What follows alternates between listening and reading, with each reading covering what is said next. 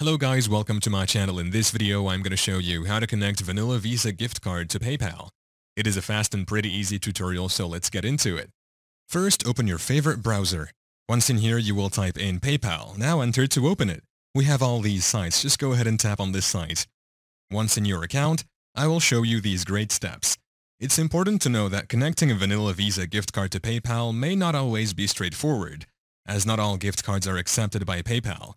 However, you can try the following steps.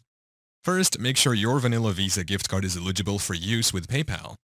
Some prepaid cards may not be compatible.